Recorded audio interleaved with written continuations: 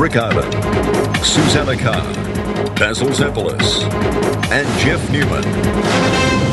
Tonight, a refugee shock for WA. Millions for a new boat people detention centre. The West Coast Eagles drug scandal. AFL clubs attacked. And America remembers a ghostly tribute from the ruins of New York. You're watching 7 News. Hello and welcome to 7 News. Also tonight, police investigate bikie links to a vicious bashing. And a Perth court hears the chilling last words from a doomed flight. Illegal arrivals may no longer make it to the mainland.